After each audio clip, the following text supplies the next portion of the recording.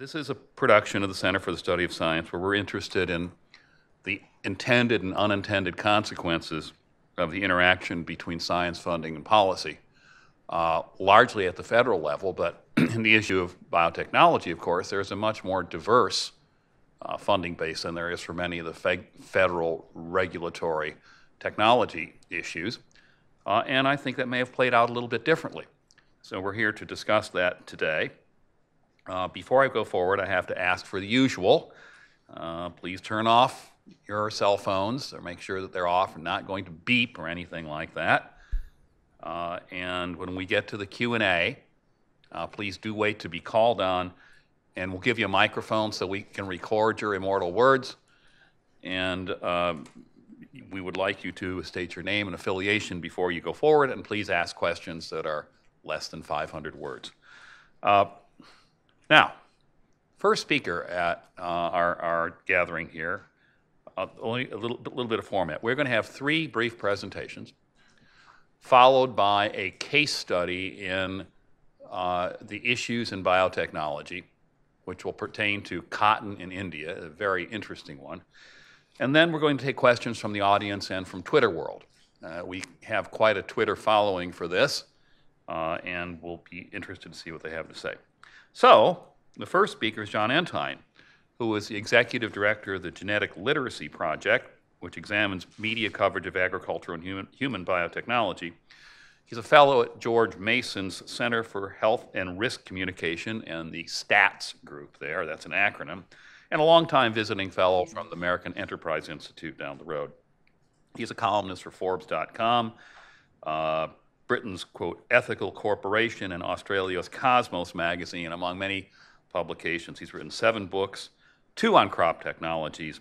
He spent 20 years as network television as a producer and executive for NBC and ABC News, won two Emmys and 20 journalism awards, and is an all around smart guy. So I'd like to introduce you, Jon Entine.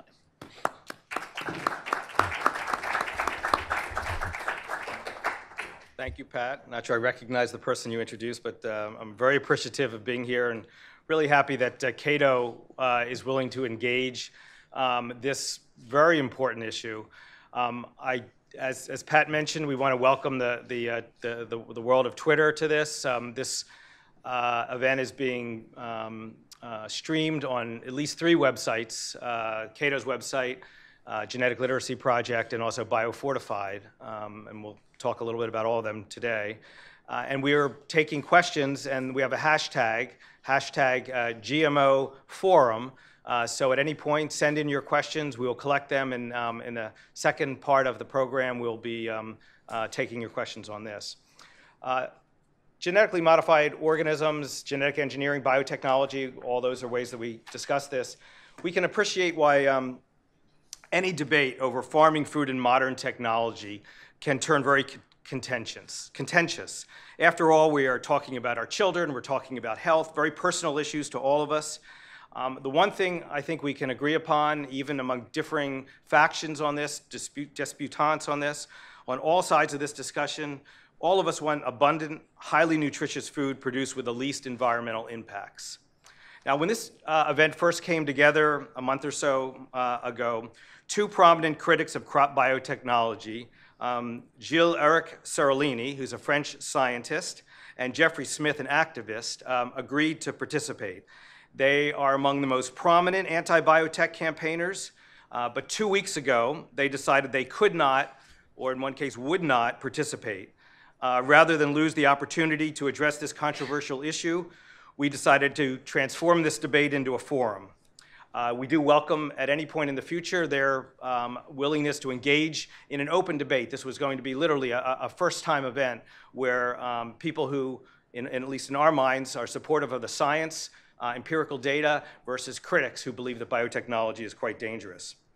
Um, I, I want to take just a, very quickly an informal poll here just to gauge how this audience feels about biotechnology um, how many people in this audience um, are generally accepting of genetic engineering? In other words, you believe that foods grown or animals grown through the use of biotechnology are safe? Could raise your hands? Well, a fairly sizable majority. How many people believe such foods should be avoided because they are harmful? Um, a few people here, so much smaller in numbers. Are there any who regard themselves as undecided? Okay, so there's, a, there's definitely um, a, a range of opinion on this issue. Um, highly contentious, and we're going to try to discuss some of the issues today. We can all agree on the goal, as I mentioned, a sustainable food system for our families and one that can support a growing worldwide population. But how do we get from here to there?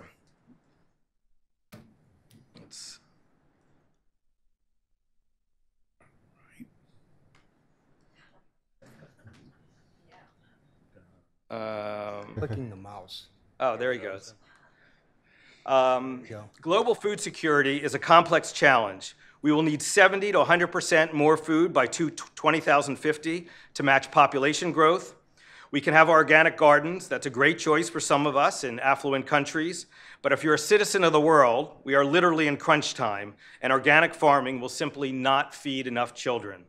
One thing we know is that technology must play a central role, just as it did in the Green Revolution. Beginning in the late 1940s, genetic research led to the breeding of high yield grains.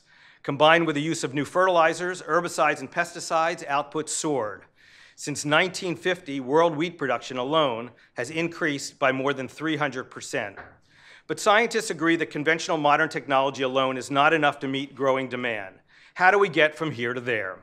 Although no one thinks it's a silver bullet, most policy experts and scientists believe that genetic engineering is critical if we hope to address global food security. Many of us hear the wild accusations about biotechnology, but don't quite understand how it works. It's actually very straightforward and elegant, and not very revolutionary from a science perspective.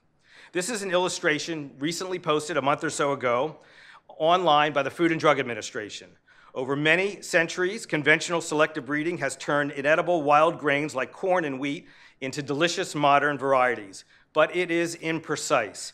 As the FDA notes, these genes may include the gene responsible for the desired characteristic, as well as genes responsible for unwanted characteristics. In other words, it's trial and error. Unpredictable and often harmful traits are passed along, and it can take decades to weed them out, when that's even possible. In contrast, genetic engineering, crop biotechnology, can, in the words of the FDA, introduce the desired characteristic without also introducing genes responsible for unwanted characteristics. It's precise. Considering its ability to tweak only targeted characteristics, it's easy to understand its attractiveness to farmers. Introduced first in the mid 1990s, genetically engineered crops are now grown by more than 17 million farmers in 28 countries. 81% of the world's soybeans, 81% of cottonseed, 35% of corn, and 30% of canola are now grown from GE seeds. Almost all GE crops are based on two well-known, well-established, and rigorous tested technologies. We have the GE genetically engineered BT and herbicide resistant technologies. Crops that produce a bacterial protein known as BT are one of them. It's naturally occurring and it's widely used by organic farmers to kill selective insects. Genetically engineered BT crops simply produce their own BT. The effects are identical to what happens on organic farms, which is what makes protests against BT crops seem so bizarre to scientists. The net result is that BT crops increase yields because farmers lose fewer crops to insect pests. The other major GE crops are those engineered to be herbicide resistant. They require the use of less and milder chemicals. That, induces, that reduces inputs, costs, and labor for farmers. It's agricultural sustainability at work. In the US, in the US, the use of herbicide tolerant soybeans, cotton, and corn, and pesticide resistant BT cotton and corn has soared since their introduction in 1996. It's now estimated that 90% of the farmers around the world that grow GE crops, 15 million, are resource poor. They come from developing countries. The total acreage using GE crops in the developing countries now exceeds that in the developed world. The idea that GE technology is based in the United States and dominated by the United States has been true for a long time. That is changing, and you, as you can see, the trends are dramatic and will increase, increasingly show that the developed world has been and will be embracing this technology. Despite the worldwide boom, the controversy, though, has not abated, particularly in Europe, where GE crops for food are banned, are banned or heavily restricted. Europe, by the way, has a net deficit in food and must import its food supply. Um, why do we still have this controversy? Many people, particularly those who call themselves progressive, embrace, embrace what might be called naturalistic beliefs. Simply said, they consider genetic engineering an abomination, a scar against the natural order, which they believe is naturally good and safe. Activists paint a scary picture of modern technology. Mad scientists hold up in their labs, tinkering with the keys to life itself, playing God. Genetic engineering is portrayed as untested and risky. Something is bound to go horribly wrong. To judge from their rhetoric, what they call the Frankenfood revolution courts health epidemics and environmental Armageddon. These are not words that I'm making up. These are words from websites. These are words from mainstream critics of uh, genetically modified foods. That's the kind of language they use. They paint apocalyptic scenarios of what they call a brave new world. The activist's greatest ire is focused on Monsanto. It's the evil face of a scary industry, the spawn of the devil in their eyes. Being first out of the box with a new technology created an inviting target, obviously, combined with a massive popular mistrust of government that we see in the political left and the political right. We have a recipe for generating anti globalism nightmares. Monsanto, activists say, is trying to take over the world's food supply, and government regulators are its willing puppets. This may sound like black helicopter conspiracy theories, but it's believed by tens or hundreds of millions of people around the world. It's entirely mainstream from GE critics. You expect to see such views on anti biotech sites like naturalnews.com, Mother Jones, or from the organic industry, the Organic Consumers Association in particular. But sadly, they even show up in places like the New York Times. Yes, the New York Times. Um, let's take a look at a video podcast posted just a few days ago on the Times site. It's an interview with Michael Moss, who is an investigative reporter with the paper. And I would say brace yourself here.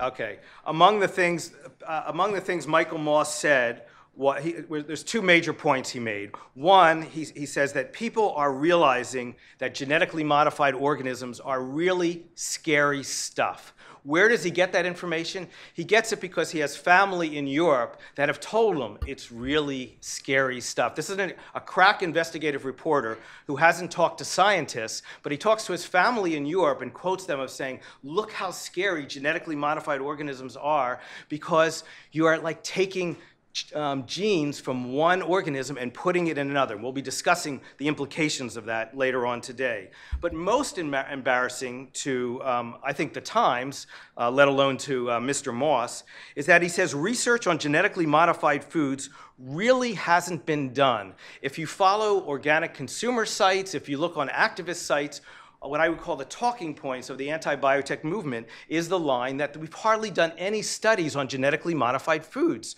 So this is a risky enterprise. In fact, um, I'm really not sure what that person, what Michael Moss is talking about, because there's literally been more than a thousand studies on GM crops and food. In fact, there's a database which we'll be discussing today which catalogs most of them. In fact, scientists relying on we have a situation where Michael Moss is relying on what I would call paranoid gossip from his family and not talking to scientists. What happens when you talk to scientists about this? Besides the thousand or so studies, not one of which has documented any harm, not one has documented any harm to human health. We have almost every, not almost, every major scientific organization in the world that deals with these kinds of issues um, releasing statements about biotechnology and about its safety. For instance, the American Academy um, for the Advancement of Science here in the United States. The science is quite clear. Crop improvement by the modern molecular technique of biotechnology is safe. The national academies, no adverse health effects attributed to genetic engineering have been documented in the human population. The World Health Organization, no effects on human health have been shown as a result of the, of the consumption of such foods by the general population in the countries where they have been approved. The European Commission, again, this is in the center of anti-biotech fever. Um, there's a great distinction between what the scientists say and what the politicians who have voted in bans have said. The scientists unanimously say no scientific evidence associating GMOs with higher risk for the environment or for food and food feed safety than conventional plants and organisms. And probably the country where the um, opposition to genetically modified foods and crops is most intense is Germany. And you go to the, um, the Union of German Academies of Science and Humanities, equivalent to our um, uh, AAAS. and they say foods from approved GM crops are safe for humans and animals. Approved GM crops do not pose environmental hazards. These are not wishy washy statements. So we have more than a thousand studies hundreds of them totally independent, and the ones that are not independent, the, the data was independently reviewed by governments, and they all, all showed the same thing. There was no dangers from human health. Yet we have this perception, perpetrated by the New York Times, among others, that there hasn't been a lot of studies done about this. The current media obsession with conspiracy theories threatens to obscure what I call pioneering developments, biotech 2.0 tweaking traits, many of which will more clearly benefit consumers or directly help the environment. Karl will discuss this in more detail, but I'll quickly run through some. We are developing crops that greatly reduce the need for polluting fertilizers, that show resistance to drought and floods and might act as carbon sinks. We have new animal breeds and even innovations to protect us from nature's uh, dangerous side, for instance, by knocking out the proteins in fruits and nuts, like peanuts, that cause debilitating allergies. I was contacted once by a uh, biotech um, activist who says, How can you um, be, be writing positive things about biotechnology? Look at the soaring rates of, of, of, of uh, allergies, uh, peanut allergies in particular. The reality of it is there are no genetically modified peanuts, and we have an opportunity to knock out the protein that causes those allergies, but it's being opposed by people like that person who wrote to me. Many of these innovations languish on laboratory shelves, victims of media disinformation and activist campaigns that have paralyzed the regulatory process in country after country. It's tempting to categorize this controversy as a battle between science and ideologues, but that would be simplistic. Every new technology generates critics who envision a calamitous future.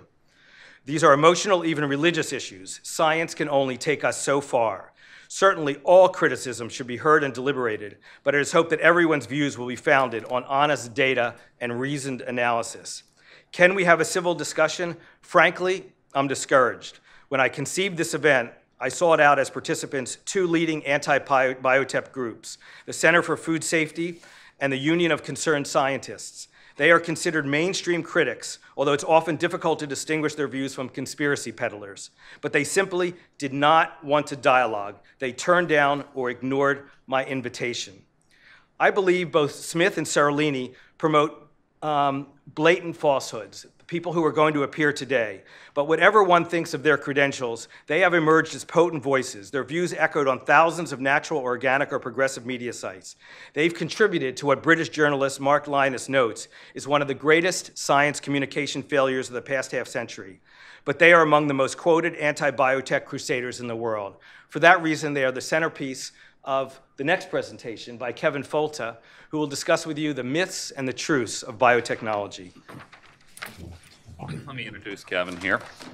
Uh, Kevin is Associate Professor and Interim Chairman of the Department of Horticultural Science uh, at University of Florida. His laboratory is working on the role of light in plant development and productivity and how genes in small fruits contribute to consumer desired traits. He's edited two seminal texts on genomics and genetics of fruit crops. He's an editor of four journals and has authored many book chapters and over 60 peer-reviewed papers. He's been recognized with several prestigious awards, including a National Science Foundation Career Award. He writes the, he writes the science blog Illumination and is a frequent lecturer and guest on science programs. And I'd say with 60 publications that quickly, uh, you really don't want to be full-time chairman, so I hope it's him. oh, we'll see about that. It's really a pleasure to be here. Thank you very much for the invitation, and thank you to Cato for sponsoring this event. Um, I really come to you today as a scientist and as a teacher. Um, I've been studying this field as long as I can remember because I've always been really turned on by the idea that uh, by, by using genetics and genetic technologies that we could solve some problems. And I've been interested in this, following it for 25 years. Uh, as a scientist and teacher, I've always been very interested in food safety and food security, um, how we can do more with less impact to the environment, how we can make better food, uh, higher nutrition, maybe better consumer qualities. All of these things are part of my uh, program now and, and, and thinking forward. And I do believe that biotechnology is part of that solution. As with anything, it has strengths and weaknesses. And what I'd really like to talk to you today are some of those, some of the um, uh, facts behind uh, biotechnology, some of the ways that humans have been genetically engineering plants for 20,000 years, and give you some ideas about the mechanisms of how the crops work. I'll also conclude with a problem that I see, and that is the use of fear to persuade. So I like to try to change people's attitudes by teaching them, giving them the facts, giving them the tools, saying, go double check me. Okay, don't take my word for it, go confirm it on your own. I give you a starting point. But this is in stark opposition with those that want to stop the technology, who will stop at nothing to do that, including using fear, uh, using misinformation. And I'll show some good examples of that today. So, what's natural? Many people will say biotechnology just isn't natural. And when you sit down and look at the history of crops, the crop domestication that's occurred over the last 20,000 years, there's very few things that any of us would really call natural. Humans inter have intervened in the breeding and selection of crops for most of this time, uh, for 20,000 years with some crops, uh, more recent times with others. Uh, the first thing that's not natural, and those of you who are uh, watching um, on webcast from North America and those of us here, is that none of our food, or very little of our food, actually comes from here. The origin of domestication of most crops comes from other places in the world, and things that came from the United States or North America were really confined to maybe blueberries, strawberries, and a few other crops. So none of these naturally belong here. They're all from someplace else. The other important facet of this is the human intervention in changing the genetics of crops. So the humans, when they first were foraging, they would look for um, twigs and roots and small things for, for sustenance and only with human identification of superior genetics, just because it performed better, it, it stored longer, it tasted better, did humans step in to genetically modify crops through breeding and selection. These are some really nice examples, some real nice um, milestones that I like to point out. Uh, corn, modern maize, was founded on something called teosinte, uh, a, basically a bushy weed with small ears that had maybe 13 hard as rock kernels uh, that could be uh, ground into a pulp and then used for food. And only after 20,000 years of careful breeding and selection do we have the beautiful large ears that we uh, see before us today. Okay. Um, another one is another good example of human um, genetic engineering through breeding and selection are things like bananas that take a relatively difficult to eat wild species and domesticate this and turn it into something that we can really use and all find useful. Uh, the one I show here, the standard Cavendish banana that we all find in grocery stores now, has uh, one extra set of chromosomes. Talk about a major frankenfood. It doesn't make its own seeds. So the opponents of biotech who say you can't save your seeds from corn, well, you can't save them from banana either. This is a way in which we have an improved fruit food product that's highly nutritious because of human intervention. Uh, tomatoes grow wild as vines on the forest floor. Um, small berries that don't taste so good uh, sometimes can even make you sick. But human intervention, most of it within the last 150 years, have created the abundance of different types and flavors that we see. In all of these cases, Humans were the driver for the genetic modification of these species, and it was done in a way without any um, precision. It was done by selecting what tasted best, what would perform best, maybe what didn't make you sick or kill you. So this was the idea of breeding and selection. We've had some other ways in which, um, in which we've had a, uh, uh, in which selection and breeding has been done. Um, one type is called mutation breeding. This has been engaged over the last 50 years, where subjecting plant materials to radiation or chemicals would change the DNA in random ways. And once in a while, a very favorable trait would come from that. Mutation breeding has been completely acceptable. No critics, or very few critics, completely acceptable by organic production, um, no problems. And uh, this chart here is a really important one. It's real busy, so I'll walk you through it. Chemical uh, mutation breeding uh, is found in a number of different plants, including, including bananas, pears, uh, some apples, um, have been bred for important traits because of uh, human-induced damage to DNA. Uh, nobody knows how many mutations there are. Nobody's ever cared. Completely acceptable to most, most forms of cultivation and most consumers. Nobody wants a label. We can compare this against wide crosses across species barriers, which again, completely acceptable to take two plants, one from a mountain, one from a beach, that never would have made it naturally, that humans make that cross, sometimes mixing as many of hundreds of thousands of genes in unpredictable and unforeseen ways. Nobody really seems to care. Nobody wants a label. Nobody really is worried about that kind of technology.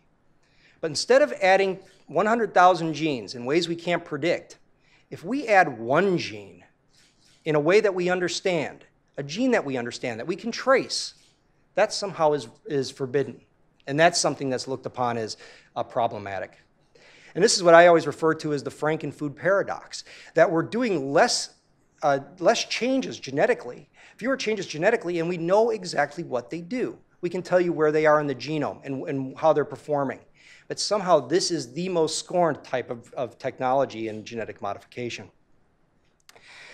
I'm, I'm going to step, skip my video for obvious reasons, but I'll move. Uh, but this sums it up pretty well. Uh, the movie Genetic Roulette, and I really wanted to show it because I really wanted Jeffrey Smith's words to be heard here from him. Um, I really wish that he were here, and I really look forward to meeting him in the future. But the, the video starts out with ominous tones saying Americans are sick and getting sicker, and at the same time, there's been this new kind of food right under your nose. And the video goes ahead and says that, gen that genetic engineering is basically responsible for every single human health ailment, um, from allergies, autism, um, all kinds of cancers. Um, and uh, all of this is, is very heavily supported just by saying, look, it's happening at the same time. The graph down here is from, uh, some of, uh, from one of Smith's documents that shows the inflammatory bowel disease before GMOs and after GMOs. And what you might notice is that the rate doesn't change, although he finds this, uh, this type of uh, data very compelling. And this is a problem across the board. Uh, this is a slide that shows Robyn O'Brien and uh, has a, has a, um, a, talk by her and uh, Charles, uh, Charles Benbrook. Robyn's wonderful. Um, she runs an allergy website. I'm very concerned about allergies in children um, and, and, quality food and quality nutrition, and I really commend her for that. Um, Benbrook has a very excellent CV and an excellent background, but I think they start to fall off a little bit here when they confuse correlation with causality. They're saying because allergies are increasing, because autism is increasing, because ADHD, asthma, and a plethora of other conditions are increasing, it must be due to GMO food. And that kind of thinking is just flawed, but it's prevalent throughout all of the uh, anti biotech literature and anti biotech positions. One I like to show is a correlation between organic food sales and autism. Now, it shows that the two have exactly the same kind of, uh, same kind of uh, um, growth over the last decade. Now, does that mean that organic food causes autism? Absolutely not. But it's the same kind of correlations that others are relying as, on as hard data and proof that there's some sort of mechanistic link between the disease and the technology that just hasn't been established by science. This also comes from Genetic Roulette, where, uh, where basically Smith talks about all of these disorders which are caused by transgenic technologies. So I'd like to change gears a little bit here and talk about a little bit more of how this applies to health. And I'll show a slide that many of you have recognized. The link to cancers. Last September, this slide exploded throughout the anti-GM universe. And it was a slide that's showing these grotesque misshapen rats, um, probably, well, we won't get into that, but, but three rats which were either fed GMO, GMO plus Roundup, or Roundup. And the, uh, the first thing that this should tip you off, as, tip me off as a scientist, is that it says GMO. It doesn't say what the gene is. It uses the colloquial term, the familiar term that the casual reader might see and find offensive. This was all over signs at protests. You see it all over anti-GM websites. But what did they leave off of this panel of lumpy mice or lumpy rats? How about a control? What about the one that just ate corn? Well, it turns out that if you look carefully at the data, they got cancer too. But the authors and the reviewers chose to not show that data. Another, but this data did continue to catch on. This comes from one of Smith's, uh, Smith's um, publications. Uh, all kinds of headlines. This one's great. Cancer row over GM foods shows that it did this to rats and caused cause, uh, organ damage and early death in humans. The paper did not barely show the first thing, and they're saying that this extends to humans. And new proof, which hardly was proof at all, but it is proof of how the anti-GMO uh, how the anti-GMO factions use fear to drive their message rather than hard science. Another good one was the uh, um, presence of BT, which is the uh, um, the uh, anti-insect protein in the umbilical cords and in mothers um, in Canada. These data are really interesting too.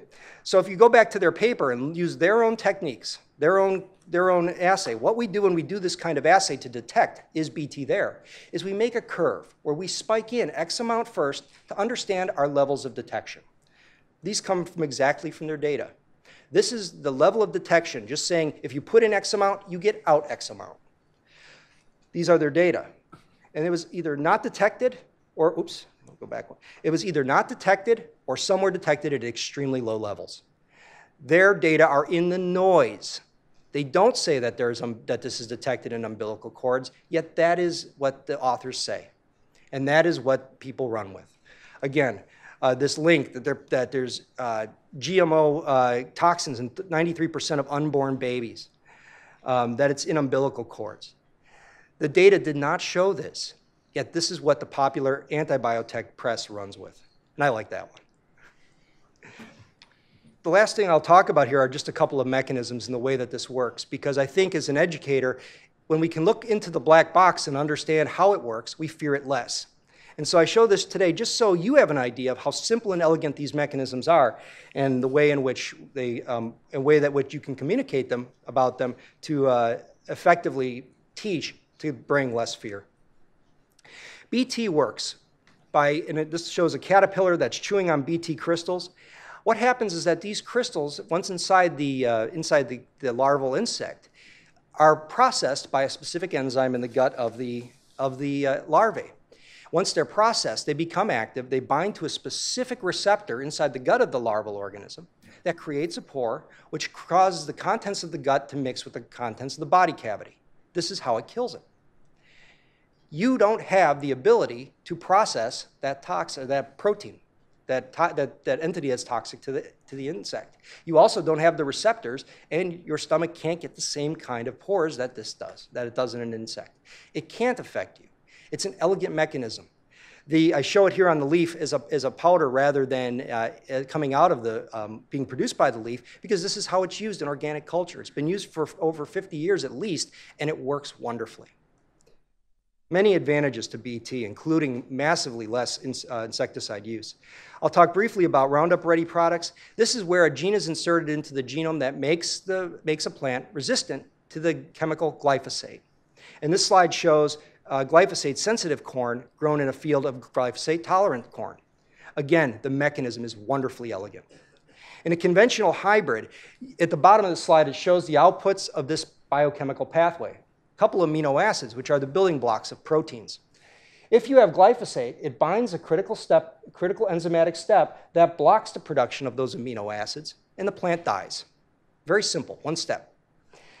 In a, in a glyphosate resistant plant, there's a modified part of this enzyme. So that little Pac Man won't take a triangle, he needs a square. A triangle just doesn't fit in there. In this case, the plant lives just fine. And this is a very simple, very effective mechanism of making a plant that's resistant to the herbicide. The benefits are that it's very well understood. It's not as bad of a, herbicide as the previously used ones. Of course, there's limitations that you can create weeds which are resistant, and that's a problem, but a problem that can have other solutions. There also have been some documented effects on water ecology, and these are, these are not specific to glyphosate, but occur in, uh, with any of the agricultural pesticides, including rotenone, which is acceptable for organic culture. So I'll conclude with this that we really need you to be a critical evaluator of the claims made by anti-biotech interests.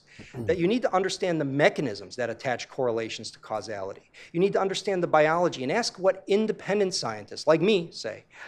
Um, where's the work published? Is it published? Does the work expand or is it a dead end?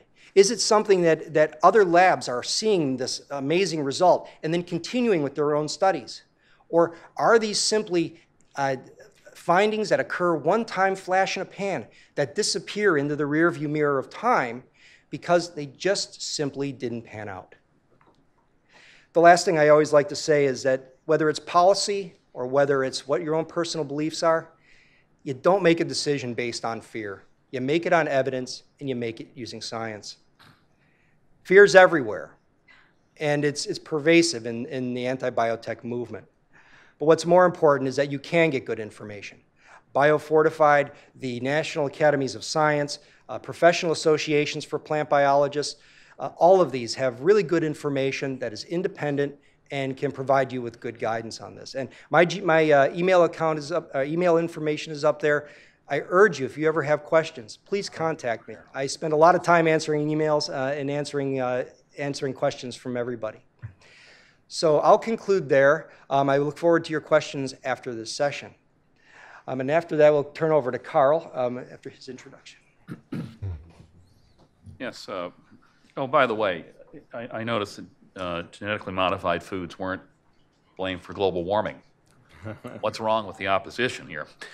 Uh, Karl Haro von Mogel uh, is a plant biotechnologist. He's the chair of Biology Fortified, uh, an independent nonprofit that seeks to improve the public dialogue about genetic engineering and sustainability in agriculture. He co-edits the BioFortified blog, which has become a popular hub for geneticists and science communicators. BioFortified has pioneered the Genetic Engineering Risk Atlas database, known as GENERA, which catalogs over 600 peer-reviewed studies on the risks of GE crops and foods. He's currently competing his completing his PhD in plant breeding and plant genetics at the University of Wisconsin-Madison, a fine institution, I might add, focusing on flavor and nutrition genes uh, and on genes that affect sugar and starch and sweet corn. Uh, and this is one of the more interesting aspects of, of breeding. It took long, long time for people to conventionally breed uh, from what is known as the SU gene, the sweet corn gene, which allows it to mature slower and therefore be edible for a long time by people, uh, incorporating what are called the SH2 genes, which are sugary enhancer genes that keep sugar for a long time. That took uh, decades and decades, and we want people to eat, you know, a lot of people want to eat more vegetables. Well, if they're inedible, they're not going to eat them. Now we can incorporate these things probably a lot quicker over time, and that's what he's working on, which is fantastic. Anyway, Karl.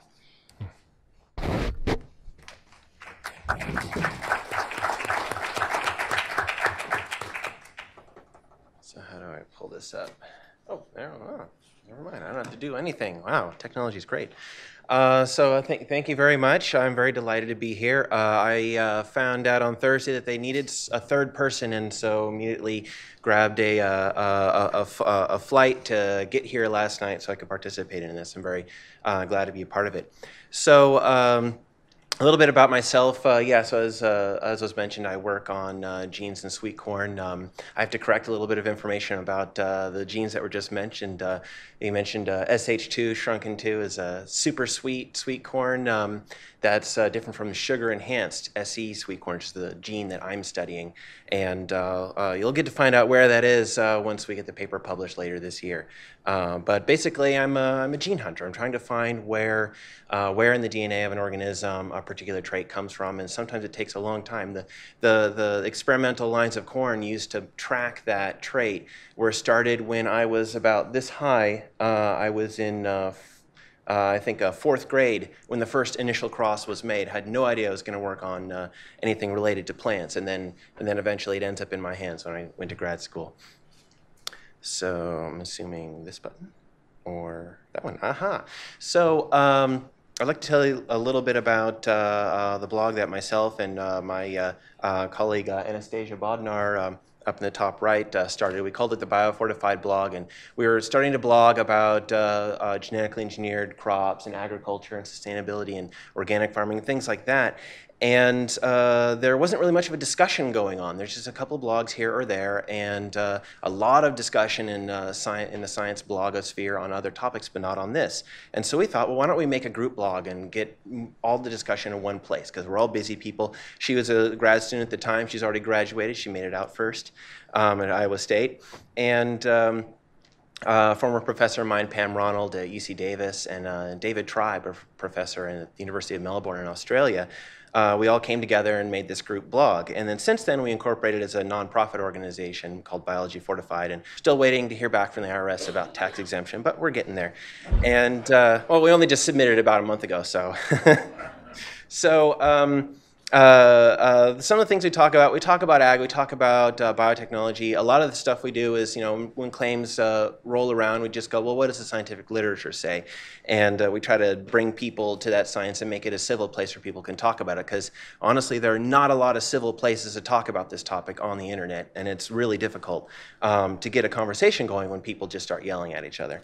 And uh, you know, one of the things that uh, you know was mentioned several times already today, and probably will come up again, is you know the the two camps of like GMOs and organic, and we actually don't even think that those two are even natural enemies. It's kind of an artificial debate between the two. When one is about farming practices, the other one is about creating new traits. There's no reason outside of uh, politics or ideology why you can't grow some new trait that you gener- generate with genetic engineering in an organic farm, except for the certification process. That's a different thing. So uh, one of the things we do to try to uh, uh, make the topic more approachable is we have our, uh, our blog mascot, um, uh, Frank N. Foode, your, who's your friendly neighborhood genetically modified organism, uh, which anybody who's present here today can get their photo with him and be added to our extensive photo album on the blog. So uh, the two things I'm going to talk about are about just how much research there is out there about these crops and how we can get more information to people, and then also some of the actual crops themselves that aren't yet out but exist.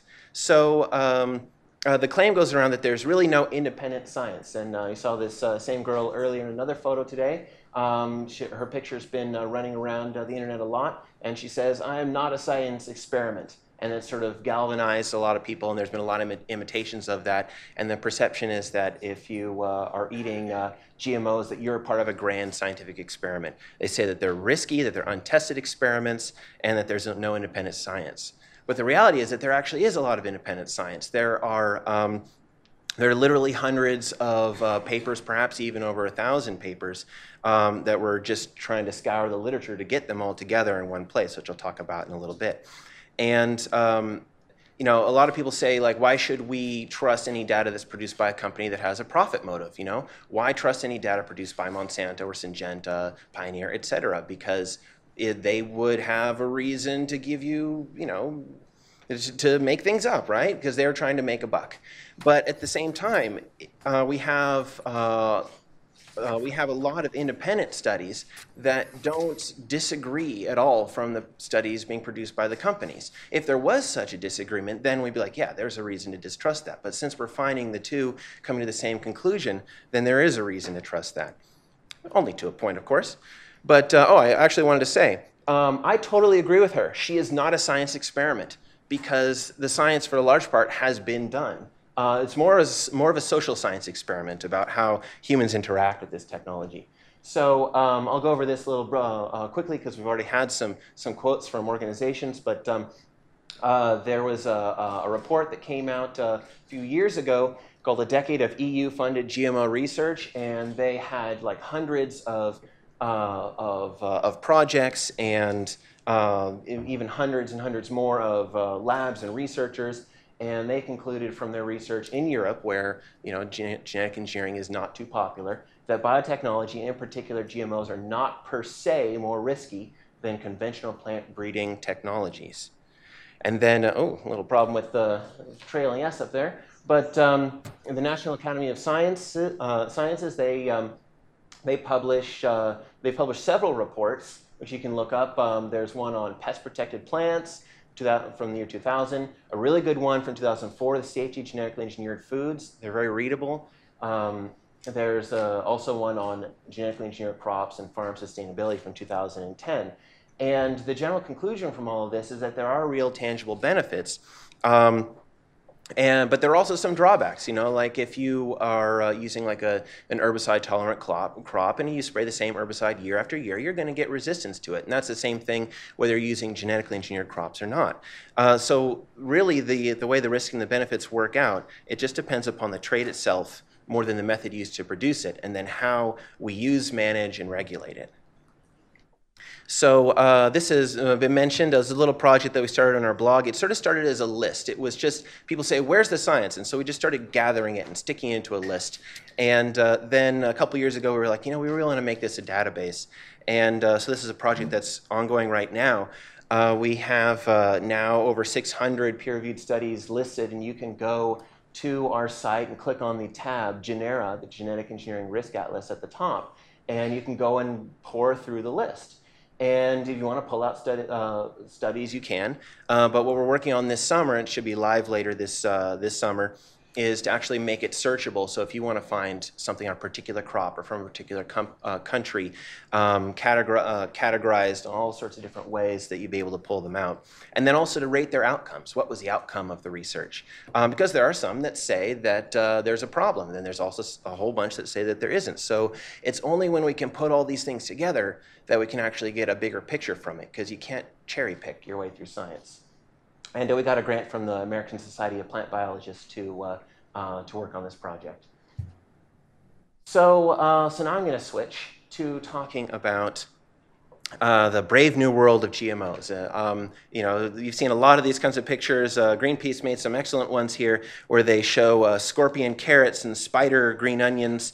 There is a fishy corn car that drives around campaigning for genetic, genetic engineering labeling. You got grenade corn and uh, um, uh, a new one um, uh, pro, uh, used in protests against uh, genetically engineered apple have uh, little sort of TIE fighter like monsters uh, with uh, DNA for jaws, and you know, they paint a very scary picture. Now, they're, they're trying to capture through art what genetic engineering is and what it means. And I really think that uh, it's kind of run into a dead end because we're seeing the same sort of patterns over and over again. What I want to do is I want to show you what uh, sort of traits there actually are, but aren't grown on uh, farms yet. So, uh, so you've heard about BT, you've heard about herbicide tolerance. There's things like virus-resistant papayas um, and squash that aren't very widely grown, but they are out there and approved for growing. Um, but there are a whole bunch more that are plants that exist that uh, that aren't being grown yet. So the claim runs around that genetically engineered crops don't increase yields. They don't increase them a whole lot, but uh, they do on the farm when it comes to like a BT corn or cotton when it's protected from insects. They do actually get a little bump in yield because not so many insects munching on them. But the um, it is said that uh, that the genetically engineered crops don't increase intrinsic yield, which is a scientific term for how much the plant would produce on its own if nothing was attacking it. And so um, I wanted to point out here a couple of snapshots from conferences I've gone to uh, where you have uh, corn that produces more um, kernels per row. Um, per, uh, per ear, and uh, with, uh, with adding the, uh, the transgene, the, the gene that is engineered into the, into the plant. And then on the right, um, you can also see, it's a little difficult to see, but the plants on the left have a uh, trait that makes the, those soybean plants uh, bigger and yield, I think, around 10% more, developed by a company in the, the uh, southern uh, end of the San Francisco Bay called Mendel Biotechnology. And so these are in testing right now. They're not on farms for production, but they actually do make the plants yield more on their own. The, this is actually out, um, uh, I think, and it's, uh, it's pretty new, and it's a trait developed by Monsanto, where they um, uh, where the corn is able to resist moderate droughts. This is, you know, might think be particularly important after a year like last year. Now that was a severe drought, so this may not hold up quite so well. Just like any plant, just would die in such a severe drought. But when you have moderate drought and it happens at flowering time, you can lose quite a bit. And uh, so uh, Frank is hanging out with some rice plants in Thailand right there. Um, there are uh, salt tolerant varieties of rice that exist and are being worked on. There's salt tolerance being worked on in wheat. If you um, if you uh, irrigate with um, let's say uh, you know lower quality water that's got stuff dissolved in it and it dries, you start to build up salt in the soil, and plants don't like that. Well, so there are plants that uh, people are working on that that like that. There are black beans down in Brazil. This is a pretty cool project where they have uh, black beans that are resistant to a major virus that uh, is attacking uh, the, uh, the black bean plants. You can see the plants in the top are looking pretty good, and the plants in the bottom are looking pretty bad. Um, the plants in the bottom are the ones that are not resistant. And I think these are going through the regulatory process right now in Brazil.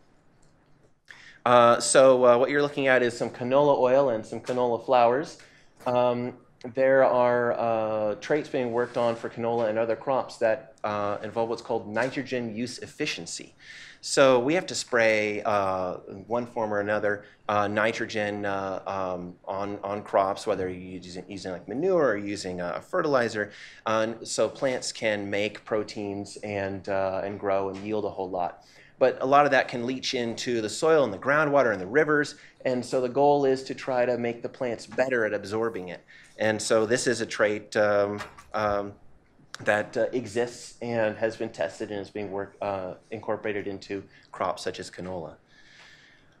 So there are all kinds of nutritional traits that are being worked on. There is uh, a project down in St. Louis, Missouri, um, at the Donald Danforth Plant Science Center, working on Thank you. Working on uh, cassava. Cassava is a major staple crop in uh, Africa, particularly in times of drought and famine. And uh, the, it's not very nutritious. So this project involves putting uh, uh, genes that create beta carotene for making vitamin A.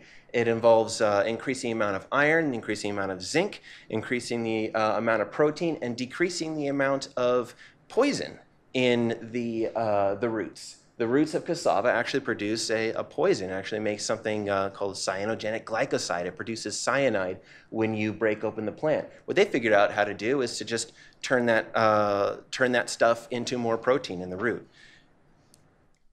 Uh, there's uh, projects to increase the amount of calcium in carrots and lettuce uh, that have been published, and these plants also exist. And they found that in, in people or in mice, that uh, people were able to absorb more calcium, a little bit more, something like 30%, but that's still something. If we're trying to get more nutrients in our diet, changes in genetics could help with that. Also, changes in how we grow stuff.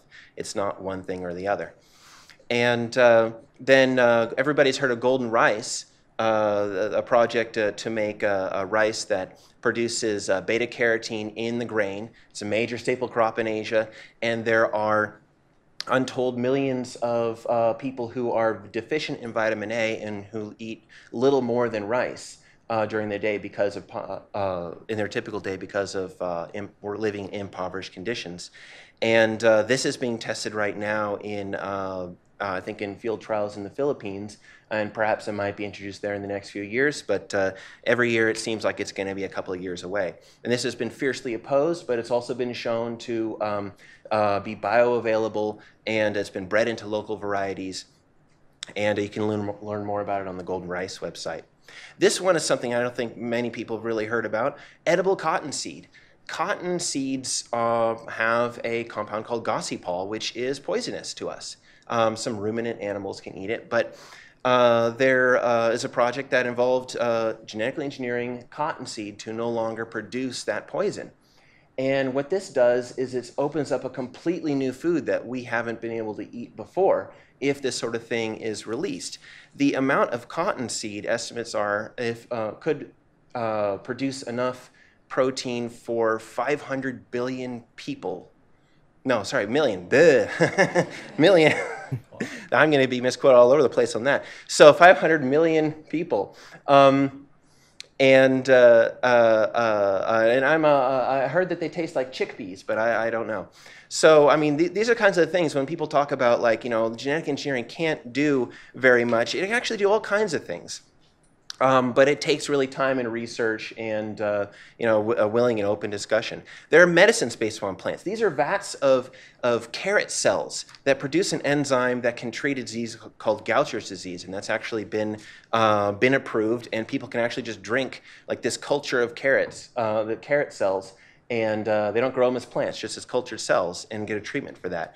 There are plant-based vaccines. There's a guy named uh, Charles Arntzen at Arizona State University working on producing vaccines in tomatoes uh, or in tobacco and, and things like bananas, where you just eat that plant and then you can get a vaccine against um, a debilitating disease. Uh, there are projects working on preventing allergies. My dad is wheat gluten intolerant. I just heard a report uh, a couple of weeks ago that there's a group that's testing out um, a variety of wheat in Europe that might uh, end up uh, uh, producing a uh, sort of a gluten-free wheat that people with celiac disease might be able to eat. We'll see if that pans out. Who knows? There's even more curious. There's rice that uh, where you're looking at the top right is a, a, cloud of pollen from Japanese cedar there are a lot of people in Japan who I think like 20% of people have severe allergic reactions to this, this tree pollen. And there was a group in Japan that decided, well, let's see if we can put something in, in a rice plant that would uh, essentially uh, uh, prepare their immune systems for this uh, cedar pollen. And they found that if people ate a bowl of this rice, that their allergies to the cedar pollen were reduced. Well, I'd never heard of something like that before, but apparently you can. Soybeans that make omega-3 fatty acids, uh, I think Monsanto has uh, this trait, and they're working on uh, uh, releasing this sometime soon. I don't know when. This one's really cool. Uh, purple tomatoes. Tomatoes that produce anthocyanins, like what you'd find in blueberries or in cranberries, um, things like that. Where there was a paper that just came out in the last week where they found that not only do the tomatoes last longer uh, when they have this gene and have the anthocyanins in the fruit, but they also apparently taste better.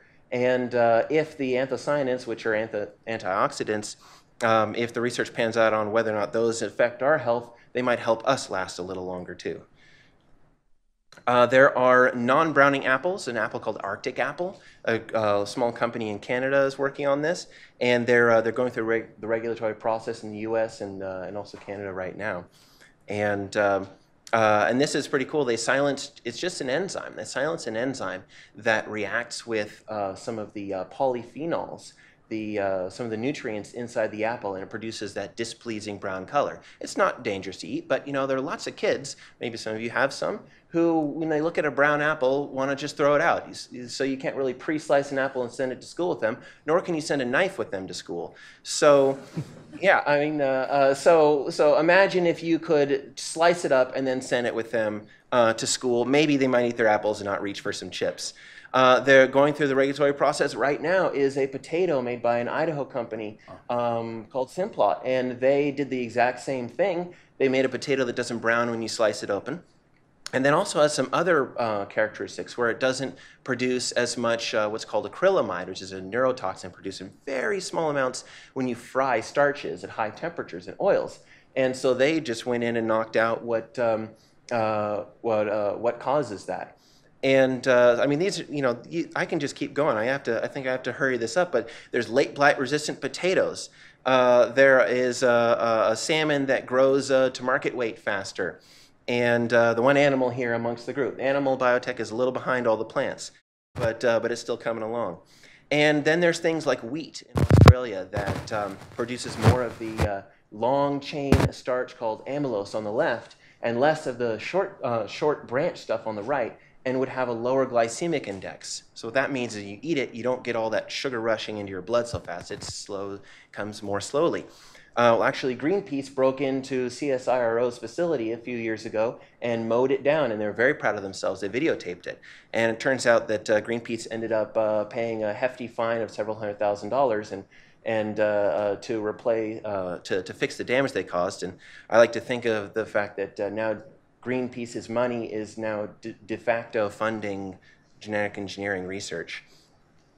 So uh, then, uh, then finally, um, maybe a little bit of a, a, a, a nicer tale is um, there was a, variety of uh, wheat being developed at uh, the Rothamsted Research Station in, uh, in England that uh, instead of trying to kill insects or prevent, make a plant tolerant to herbicides or things like that, instead decided they're going to try to scare away the insects with a pheromone that the insects use to tell each other that there are predators around. And so the wheat is now telling the uh, this wheat would tell the aphids there's a predator around, keep away. And so while they were doing the trial, they started to receive uh, uh, ominous threats from a group that was going to say either rip it out or we will. And it got a huge amount of public attention. And uh, there, there's the protest right there where they were planning to go rip it out, but it turns out that they didn't end up ripping it out. It seems that maybe in some respects, the, uh, the way that people approach this topic has changed, and uh, hopefully for the better. Oh, no, no, here's, here's my last one. Okay. So, the American chestnut. Um, I don't know if anybody here has been to an American chestnut forest, but they apparently used to be very widespread. And uh, really fantastic trees, lots of poetry, lots of things written about them. But there was a fungal disease that was introduced from Asia that uh, almost completely wiped out these trees. And uh, there have been breeding efforts that have had some success, but there's also a genetically engineered American chestnut tree that is resistant to the fungal pathogen that uh, destroys it. And they're, they're now opening up this discussion about not let's grow this on a farm, but let's release this to make a forest. I mean, it seems like a juxtaposition, something like a technology like ge- genetic engineering, restoring like a, natural native forest. But I think that's kind of sort of the, the weirdness of how we approach this topic as human beings, but also just um, the cool stuff uh, that, uh, that, that, is, that is possible. And I think we need to really open up the discussion to talk about these kinds of things because all of them are different. All these different traits I threw up there, um, you know, this big laundry list. They all have to be approached in a totally different way from each other. They all have different risks and benefits. They all have different uh, potentials and uh, uh, for good and potentials for bad. And uh, so, with that, I just like to uh, to suggest for people who are on uh, discussing this on Twitter um, is to put out there like, what do you want your plants to do? What do you want your food to do? You know, just come, you know, tap into your own creativity and uh, put it up on the Twitter hashtag GMO Forum. Put it up in our forum on biofortified.org, and uh, let's see if uh, you know people can come up with some interesting, creative ideas. Anyways, thank you. Thank you. Yeah. Imagine Jon Entine, he's a television producer for NBC uh, and ABC, correct? Imagine if we're going to make him a radio producer and that he doesn't have a, uh, any video to show us. Uh, so do you think you could possibly describe what happened in India? Discuss it for a few minutes, and then we'll go to the Q&A. Thank you. We wanted to do a, um, a, a very short case study. I was going to show a three-minute clip from Genetic Roulette, uh, uh, the Jeffrey Smith documentary that talked about, um, in, in, in, very scary terms, what is generally referred to as the Indian BT cotton catastrophe. Uh, BT cotton was introduced in India in the, um, in the, in the, I guess around the year 2000, if I'm not mistaken. 2002. 2002. Um, and um, if you see Jeffrey Smith's documentary, if you go on literally hundreds of websites, oh, it will run. Oh, okay. Oh my God. Ooh. Could we put up the right uh, the right PowerPoint? He has the wrong PowerPoint up there. Oh. Okay. I don't see it on my. Um, there we go. We're getting into Monsanto talks about oh, we'll, feeding we'll the play world. this. This is their PR concoction. Let's take a look at what's happening in India. They took over the cottonseed industry and are forcing millions of farmers to plant their BT cotton. Now, cotton is engineered to produce an insecticide which breaks open the stomach of insects and kills them. The normal natural BT is found in soil bacteria. When that's used as a spray, in the Pacific Northwest, for example, for gypsy moths, about 500 people complained of allergic and flu like symptoms. Some had to go to the hospital. Now, in India, thousands of workers are complaining of the same symptoms. Many are getting rashes, and many are itching. Farmers have been complaining that they have itching. When they grow, they, they go to pluck, uh, they have itching sensation. ఈ బీటీలో పనిచేసే ఎవరైతే కూలీలు ఉన్నారో వాళ్ళకి ఆ పని చేసేటప్పుడు allergies రావటం మేము గమనించడం జరిగింది అదే నాన్ బీటీలో పనిచేసే వారికి అందులో ఎలర్జీస్ అనేవి ఏమి రాదు In India, they allow animals to graze on the cotton plants after harvest. They've had no problem for years. When they introduced BT cotton, however, they noticed that thousands of animals got sick and thousands died. There's a small organization called Deccan Development Society that pleaded with the government to do tests on the BT cotton to see if it was causing the animal deaths. They went to the government, they didn't follow through. They went to universities, they didn't do anything. So DDS did the study itself. They took nine sheep. Six were eating either Bollgard 1 or Bollgard 2 BT cotton, three non GMO cotton plants. So within a month, all the animals which ate on Bollgard 1, Bollgard 2, they died. And the animals which ate on non-BT, non-pestle managed cotton are still alive and are still active. I visited a village in Andhra Pradesh. They had allowed their buffalo to graze on cotton plants after harvest for years without a problem. They allowed their 13 buffalo to graze on BT cotton plants for a single day. Within three days, all 13 buffalo were dead. We know that the crops that are genetically engineered have unpredicted side effects. This can not only affect health, but also the agronomic properties. The BT cotton grown in India is extremely unreliable. Sometimes it works, sometimes it doesn't. But there they have no safety net. Millions of farmers have invested money in the more expensive seeds and associated chemicals. Many have borrowed heavily at high interests. When the cotton doesn't work out, many of these farmers cannot even pay back their high interest loans. The number of farmer suicides as a result is astounding. high cost seed with unreliable performance is what is getting farmers into debt, and debt is what is causing the farm suicides. All our studies over the last decade show that the suicides are concentrated in the cotton areas, and in cotton, much higher suicides in the BT cotton belts. My assessment is 250,000 farm suicides in this country, of which at least three quarters is BT linked.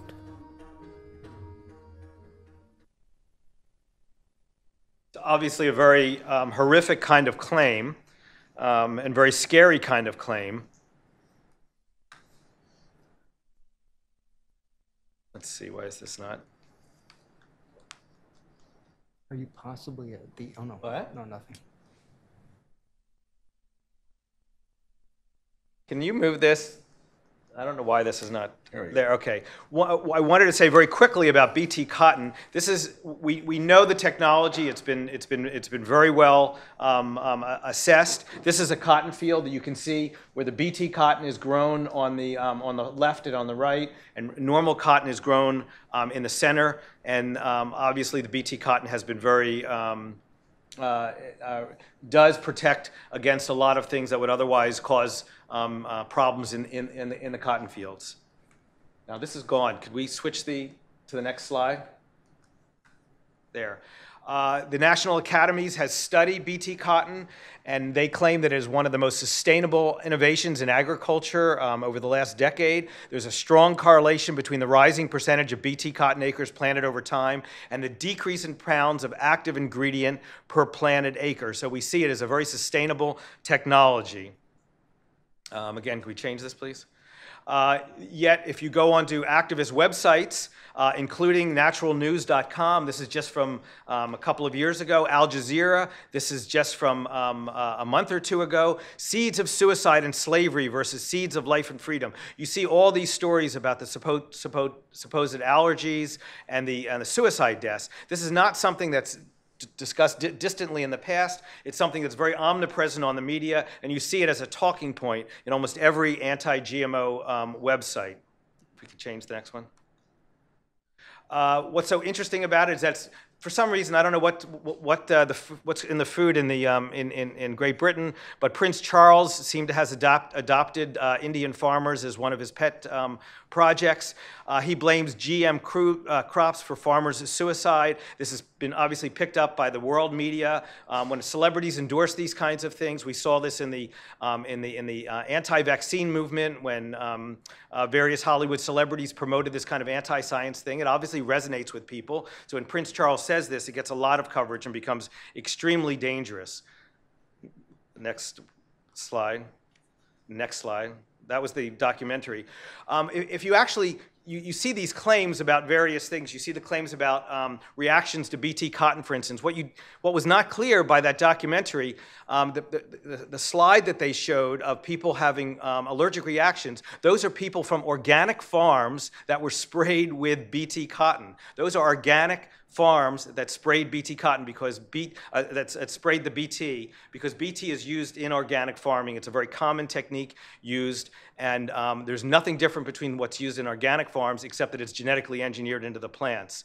Um, but if you look at the study that um, uh, Jeffrey Smith bases his comments on. It's in his book. He's got a book. That book is widely cited on anti GMO websites, and you source out what the study is. It all goes back to a report written not by a scientist, but by an activist named Ashish Gupta, an activist um, who spent the last 12 years, this is written in 2005, associated with an anti GMO um, uh, activist movement. So all these stories are generated from an original report written by not a scientist but an activist that's then picked up and it metastasizes ac- across the internet.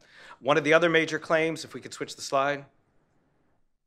uh, that sheep deaths are related to BT cotton. What's the source of that besides a, um, obviously, a very unscientific test um, uh, demonstrated there? It goes back to a so-called study on GM Watch, which is, which is an anti-GM website. There aren't science studies that show this. It's really basically claims by anti-biotech websites. Next. Um, farmer suicides related to BT cotton. There have been a number of studies on this. Um, the India farm suicides is not something new. As you can see by this chart, it predates uh, biotech, the introduction of biotech, which happened in 2002. In fact, there's been a slight reduction in suicides. It's really related to other problems, and it's the, um, as we will discuss in, among the group of us, it is an attempt to reposition an ongoing problem, an agricultural problem related to poverty and a number of other issues, and, and, and trying to fo focus that issue on um, farmer suicides. Um, but despite the recent media hype around farmer suicides, um, fueled by civil society, organizations uh, are reaching the, and reaching the highest political spheres in India and elsewhere, there is no evidence in available data of a resurgence of farmer suicide in India. I want to talk to Kevin and ask you, Kevin, could you discuss what the evidence shows, what's going on in India right now, and, and really give us some context to, um, to this India suicide story and the agricultural problems that exist in India might have led to that? Well, it ties in with the agricultural problems, but it's really a socioeconomic complexity. Uh, there's many different uh, problems in India that are leading to suicides, and particularly not so much. There's more than uh, there's half the number of farmer deaths as there are to others who are committing suicide. Mostly a large amount of young women between the ages. I think the survey said between 19 and 25. A tremendous spike in suicides, um, for ma many reasons. Um, but the but the overall problem that's occurred with respect to um, with respect to the the cotton issue is because it's a very, very risky crop to grow. And it's a gamble for anyone to do it because it's substantial money if you do get it to grow. But you're growing in very difficult soils and you're dependent upon monsoons. And if you don't get monsoonal rain, you don't have a crop. And it doesn't matter whether you have genetically modified BT cotton or, or other types of hybrids. No rain, no seeds, no profit. And this is where this is some of the problems. Is it maybe in a, changing climate, problems that you're seeing with drier spells for them um, that are much more of a problem than, uh, than a biotech company that sold them seeds. Uh, Karl, some of your reflections on some of these studies that, that supposedly show horrible problems with BT cotton? Yeah, I'd actually like to address the claim about sheep dying uh, from eating the uh, the cotton. One thing that uh, a lot of the groups uh, claim. There's actually a, a, study that's I think number 13 on our list that's published on our website uh, in the, in the, the, our genera list that actually is an experiment feeding sheep BT and non-BT cotton, and there weren't any problems with them. So there is actually science on that, and so I just you know have to wonder what the methods were and what they were actually you know doing with the you know the sheep over there there that that was the actual cause. There can be many things. There can be uh, so something that was sprayed on the crop. There could be uh, uh, diseases. Uh, there could be uh, pathogens on the uh, on the, the crops that they were eating. And so they're just picking one one thing that we already know can't be the cause of that, and then then blaming that. One final comment. I think you can, if you, if you reflect a second, the idea that Monsanto has created a product that impoverishes farmers who buy it um, and prompts them to uh, commit massive suicides makes no sense on its surface. Um, there was a, a, journalist actually wrote an article about this, and, and Riley and sadly said, despite what anti-biotech activists may believe, companies, and that includes agribusinesses, I think prefer to keep their customers alive and prosperous. Um, it doesn't do any good to, to kill off your, um, your major customers. Um, with that, I think we'll um, go, go, to both the audience and to uh, Twitterville, Twitterland, uh, for a number of questions. Okay, is, it, is this Twitter? Uh, let's do audience first here, over there. Uh, name and organization, if you could. Uh, Dave Price, retired reporter. Uh, two questions very quickly. One is you've laid out the scientific uh, case for it, but I was wondering obviously, there's still a lot of opposition to this. Could you switch hats for a minute, go to the opposing side, and kind of categorize? Is most of this coming from an anti science base, do you think? Um, an anti business base with Monsanto, some kind of religious scruples? That's the first question. Second question obviously, there are drawbacks. This would, I'd like each person just to address this briefly. When you go to bed at night, what would concern you most as a drawback? And of course, you can also address how that could be resolved.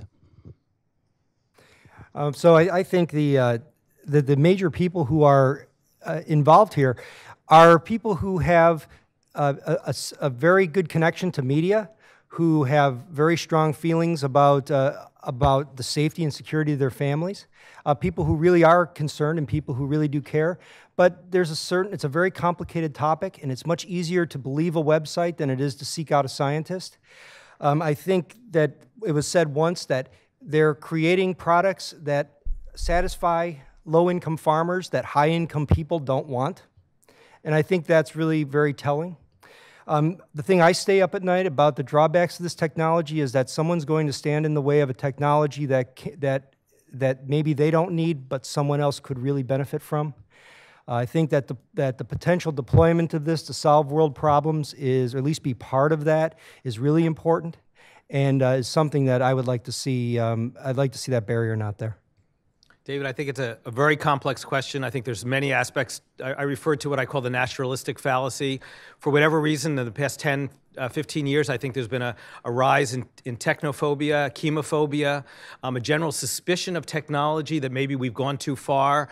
I don't think it's um, necessarily rooted in, in um, rational view of, of, of, of empirical data. I think it in- infects the debate over energy resource extraction. You see it in the fracking debate. Not to say that there aren't controversial aspects to all these technologies, but there's almost a, and I hate to use the term knee jerk because it puts it in ideological terms, but there's this reaction against technology that there must be something wrong with it, combined with a general suspicion of corporations, since many of these products, um, including the most high profile biotech products, um, take hundreds of millions of dollars to develop because of a very high regulatory barrier. So it almost forces a situation where the only companies that can um, make their way through this regulatory gauntlet are the Monsanto sized companies of the world. So they become easy targets for a situation that was created because of the activist barriers helping to activist um, uh, protests creating high barriers to entry into the marketplace.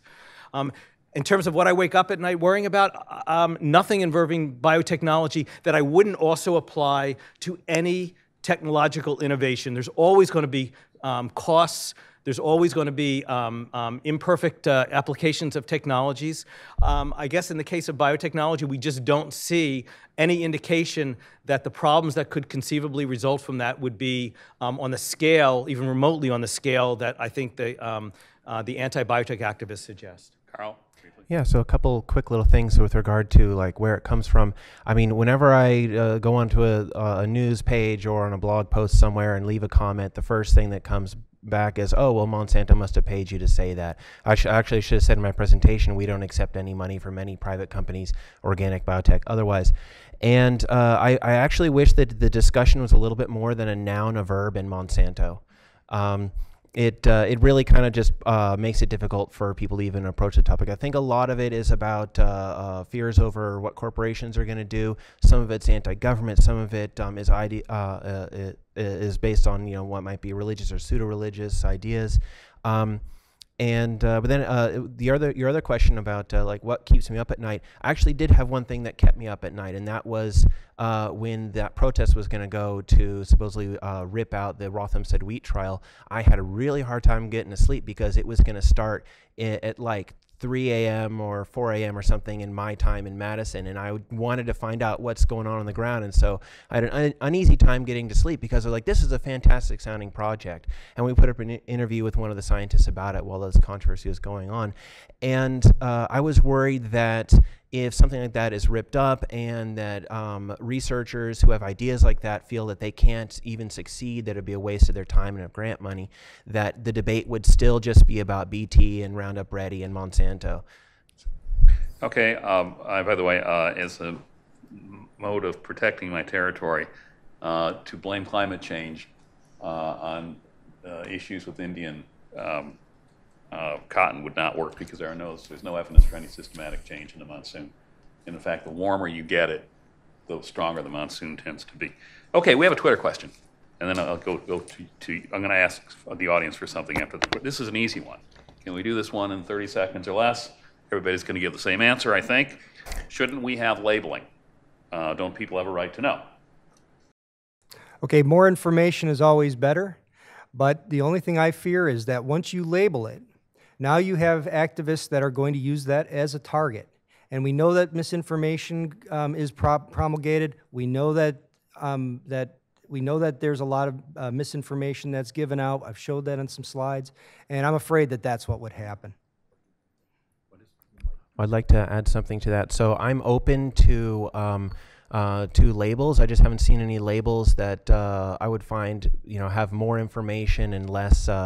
Uh, sort of like costs and other drawbacks associated with it, uh, because the the fact is like corn and soy and things like that are all mixed together. So you either have to separate it out, which adds to the cost, or you have to basically label it all as may contain, and that really doesn't actually help people know what's in there. But it's uh, again could be used as a tool to worry. But I actually think that for those companies that develop uh, a trait that is a consumer trait, something like a more healthy uh, uh, grain or vegetable, that they may want to even try just labeling it as we change this property. Actually, the FDA says they have to label that they change the nutritional content um, uh, if it's due to biotechnology, and just actively label, we did it with this method. And uh, from what I understand of uh, the, the literature on consumer acceptance, the, the, uh, the opposition to things like that is not as great as I think they uh, think it is. Um, I, I, would suggest that a, a couple of um, uh, responses. One, I think if we had a label modeled perhaps along the way we use tobacco products, it might be something we would consider. The tobacco label is the Surgeon General has determined this could be hazardous to your health. If we had a label that said the American Academy of Sciences has determined that genetically modified um, uh, products are safe, uh, uh, that might be something that we would we would consider. In other words, if it actually conveyed information that was scientifically based, it would be something we would consider. Um, but, but I also think that if you look at the measures being considered, like the one in Washington, they're looking for what, what we call skull and crossbones labels, like a big patch on the front that's bigger than anything else.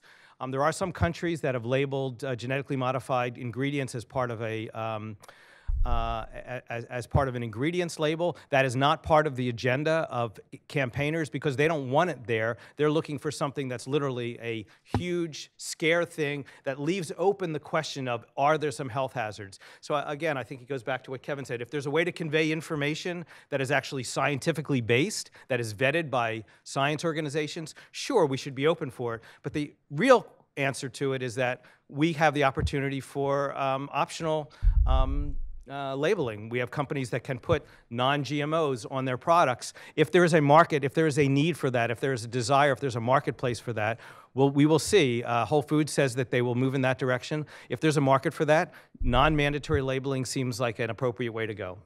Okay, I, want, I would like the, well, one favor from the audience. Uh, is there anybody in the audience that can give a cogent anti GMO type question so that we could, uh, would that be you? Excellent, okay.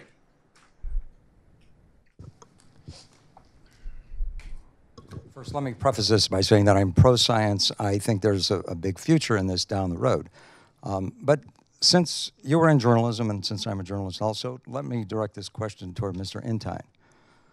I saw a clip on the internet involving uh, two award-winning reporters, Steve Wilson and Jane Akre, who investigated R- RBG milk. I'm sorry, investigated? R- RBG milk. It was this Monsanto bovine gro- growth hormone milk. Uh, they basically were told that they couldn't put this on the air. They had done extensive research on this. They found it to be dangerous. They found it to be harmful. And they were broadsided by these threatening letters from Monsanto attorneys in New York to the point where they were told they couldn't do it, and then they had to go through 83 edits. Eventually, they were fired. I found that kind of, kind of alarming. Um, I went, I, I took your advice, and I sought out the advice of an independent scientist in Canada when I was there. I talked to a guy named Shiv Chopra, who was a leading scientist at uh, Health Canada.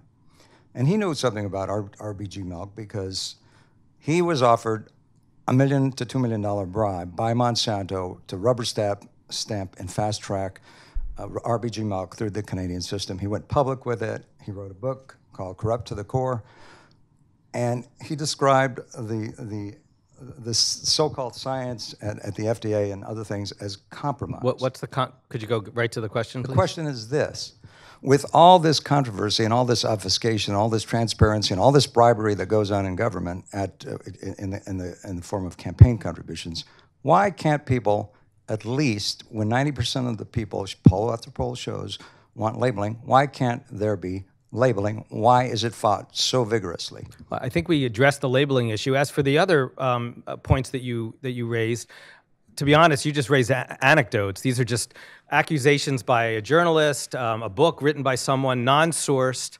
Um, I mean, if, if you if you talk to Jeffrey Smith, who who I have talked to and I like personally, he believes his book is well documented, but it's it's it, it's it's not even wouldn't, wouldn't pass muster in, in, in a junior high school science class. What the people who write it think is is is well documented, and what scientists believe are well documented are two very very different things. You can maybe respond to the science. I, guess what I think is um, a company and a scientist are if if they're being bribed to um, produce a, or to accept a product which is poison and that people are going to have illness and, and die from, you'll see it in the epidemiological data, you'll see it in uh, independent science that occurs after the product is out. I, I'm just skeptical of, of, of claims of conspiracy all the time. Um, maybe it's true, but I, I always am skeptical of claims of conspiracy. So let's see the data rather than claims. Okay, I just want to point out that Kevin Folta has a groupie in Twitter world. Uh, this is from Twitter. All right. It says, Kevin Folta, your presentation was awesome. Will your images be available? that, that is yes, if you don't want audio. yeah, they're available from us. Yeah, absolutely. Uh, and uh, I'm going to do another. Uh, Oh, I, I could make a quick mention there. If you want to see more Kevin Folta, he and I sat down uh, at my house when he came back came to Madison last fall. Um, look up on our blog, have a beer with Kevin Folta, and we had a fun discussion about this and other things. uh, anybody in the audience next? Yes, sir. Yellow tie has had his hand up for a while. Yeah, hello. My name's Keith Ellenberger. I just recently read an article where uh, wheat growing in Oregon was found to be, uh, it was developed uh, to be resistant to Roundup. And it was, and the line was canceled by the developers, even though it obviously was successful because this wheat was growing in a field being grown uh, being grown, you know, and it was sprayed with Roundup, the wheat grew anyway. So obviously, it did what it was. What was the unintended consequence that it's not reported that, that caused the company to cancel that line of wheat and the government of Japan to ban wheat imports from Oregon? Yeah, I, I can answer that. Um, the original wheat was in for approval back in the early 2000s, and the reason it was uh, halted, reason that the company pulled the application, was because there were threats from Asian countries and other countries that they would not accept any U.S. wheat if the GM wheat was released. At least that's the understanding I have on this. So it was a question of uh, serving the greater uh, non-transgenic farmer by uh, by not continuing with that application at that time.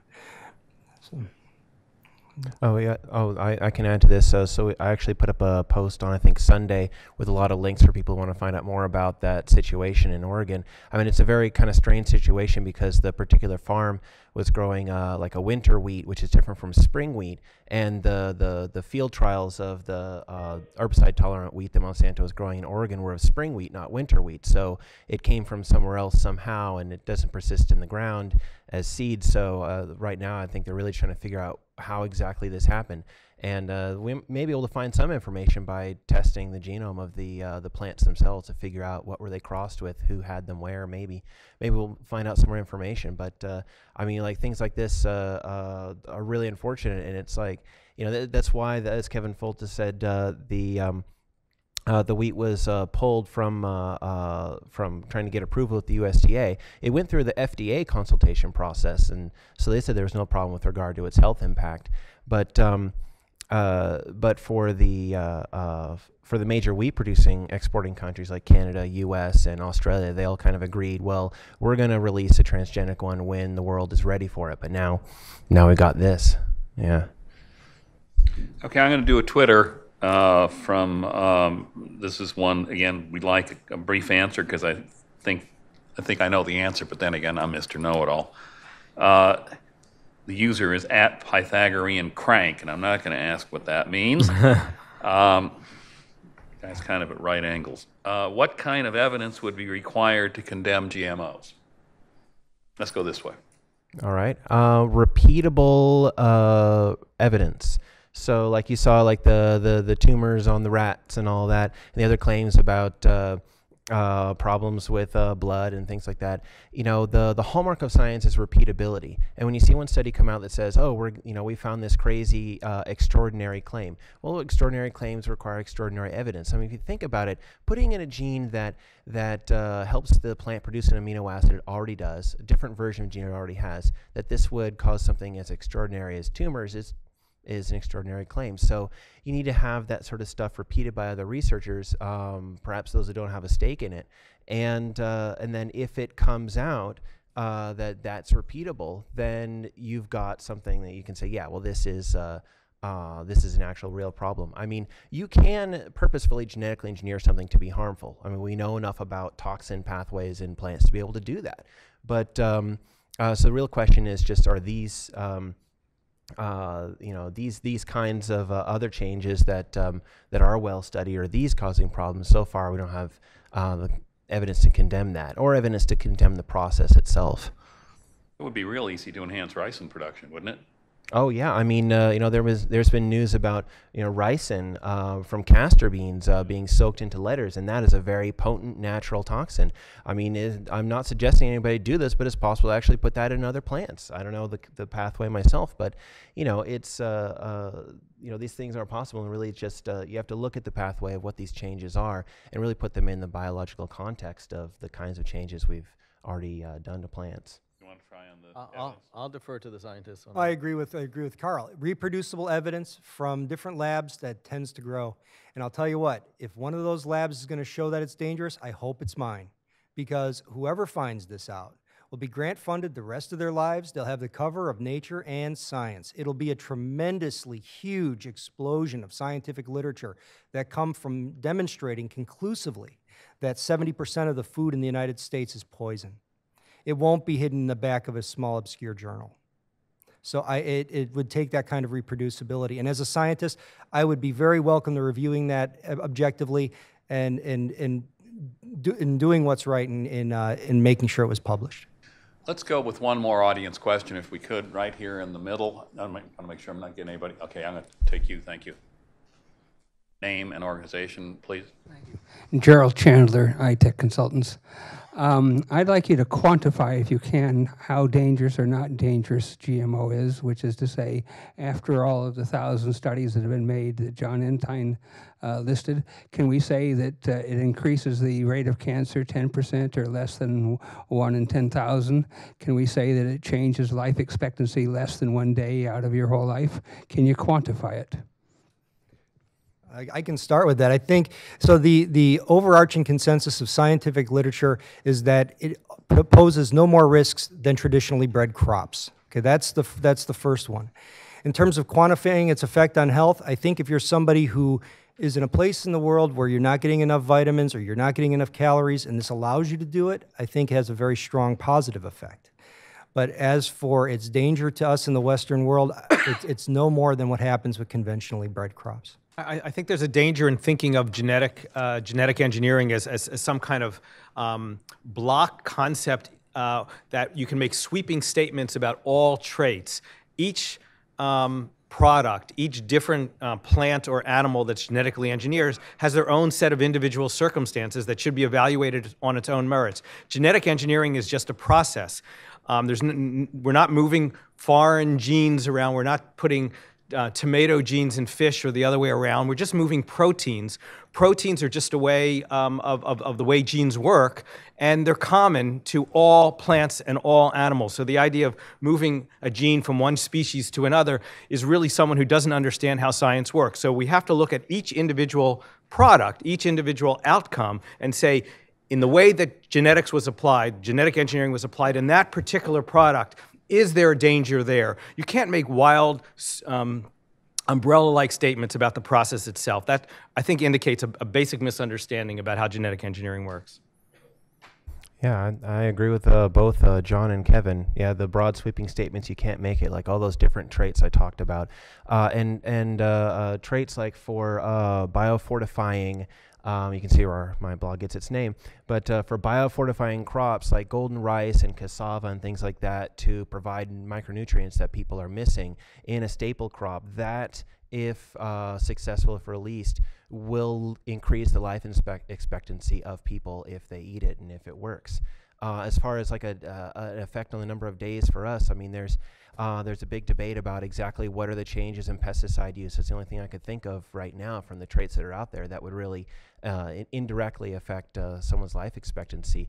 And um, I think that the, the the noise is much greater than the signal on that. I wouldn't be able to say up or down by even a day. Um, yeah. That's me as talking as a scientist.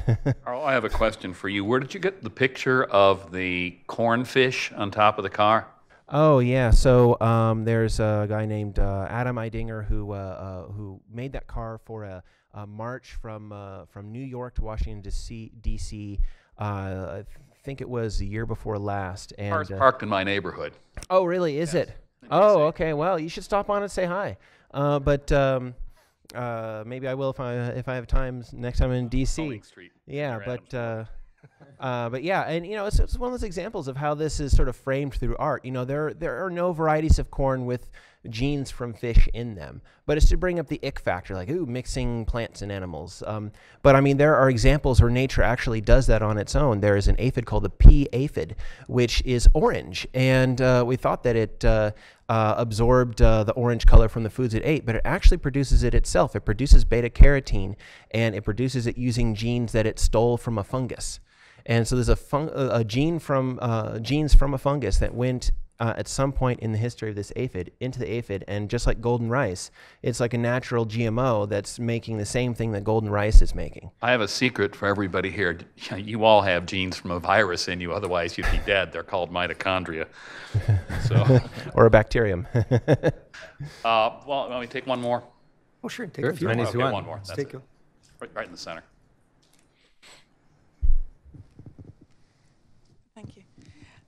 Given that most sorry my name is jen bates uh, i'm a private citizen um, given that most of the spreading of anti-gmo um, material eventually comes through the mainstream media what are you guys doing or thinking to educate the journalists of, of the mainstream media so that they uh, are more even-handed perhaps when they deal with it Number one, we're having this seminar. Number two, Well, I mean, we, we we've been uh, in what little spare time we have been trying to build pages to help with media.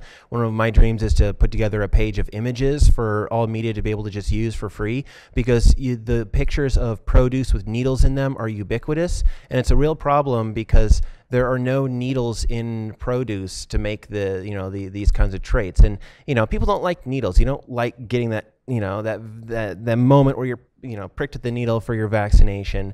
Um, and it, it's really just used to sort of stir up emotion. So I want to be able to build something where, where you can actually show a bit of the process and it looks visually interesting. People can learn some more of the science. There's our, our, our atlas. Uh, we're um, uh, later this summer, we're planning to uh, put together an, uh, another site, um, crowdsource uh, sort of a, a fact-checking uh, Snopes-like site um, to just go through the basic claims. But there's nothing up right now. We've only just got the domain name so far. Uh, uh, it's, your question is actually very central to a, to a debate that's going on in the journalism community. I would say most journalists are, are liberal, moderate to liberal. Um, There's been a we're all very Twitter savvy and we follow what's going on on debates on genetically modified organisms. But I'd say over the past six to eight months, there's been a huge debate among um, journalists who covered biotechnology, many of whom, the majority of whom, just because journalists tend to be liberal, are liberal minded. And um, I think for many, many years, um, they have been afraid to um, uh, literally put their head above, above the parapet on this issue. In other words, they've aligned with the political left on a lot of issues. And for, for whatever reason, um, anti biotechnology has become a litmus test among a certain faction of the political left. Um, and I'd say over the past six months to a year, you've seen um, a willingness by journalists who otherwise would not necessarily weigh in on this issue to now say, you know, we care for science. Um, we've talked about issues whether the debate over climate change is one thing put out there as, a, as, as, as an issue that the left journalists have weighed in very heavily, and organizations like Mother Jones and Grist have weighed in. Maybe we should actually um, stand up and talk on this issue. And I, the catalyzation movement was the Seralini study that was released last fall, and the attempt by um, Seralini to restrict access to his study, except to supporters, and um, didn't pre-release the study um, to have a general critique by journalists so that when the study actually formally came out, there'd be a balance of studies. There was a huge outcry by the journalism community. That event combined with the conversion of a guy named Mark Lynas, who's a British journalist, who in January of this year went public uh, with his um, willingness to admit that he no longer opposes genetically modified organisms, which was a major event because Mark Lynas is reputedly the one who coined the term Frankenfoods, and he was a Greenpeace activist. And he says, you know, I quoted him in my talk the failure of communication on genetically modified organisms is one of the literally the communications catastrophes of the last 50 years. So I think that there's now a willingness and an aggressiveness by journalists, many of whom who consider themselves liberal and have been afraid to speak out, to say, we're going to talk the science, let the political consequences, ideological consequences um, fall by the uh, wayside. And I'm, I'm hoping that that movement will, will, will gain more traction. It seems to have over the past six to nine months. Yeah, briefly, I, I think that what I would like to see and what I would like to do is invite the journalists that are most opposed to the technology, those from Mother Jones and other places, to realize that I share most of their values with respect to everything else that they publish and everything else they, they write about. It's just one issue that we differ on. And it's because I know an awful lot about it. And I I would invite them to let's sit down and talk about it because what this needs is more honest discussion and less shock, fear, and hyperbole.